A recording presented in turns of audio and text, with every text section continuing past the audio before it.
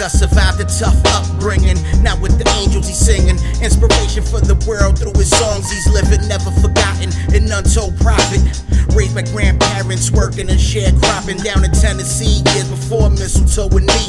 Dropped out of high school, but then got his degree. Got offered scholarships, but had to provide for family. Meat packer by day and musician by night. Started in church choirs, singing gospel and sights. He could tell from a young age that music was life. If you don't feel it in your